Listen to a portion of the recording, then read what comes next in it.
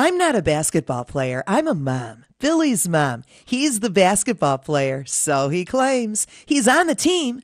Well, he should be. He spends all weekend in the driveway practicing. But how many times has he got to throw that thing? One shot after the other, then he grabs the basketball and he tosses it again. He says he shoots till he misses, but I see him start over again. Well, guess I got time to clean his room. Like I said, I'm not the basketball player.